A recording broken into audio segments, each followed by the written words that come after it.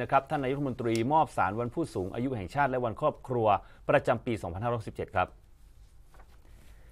นายเศรษฐาทวีสินนายกรัฐมนตรีส่งความปรารถนาดีแด่ผู้สูงอายุทุกท่าน และครอบครัวไทยทุกครอบครัว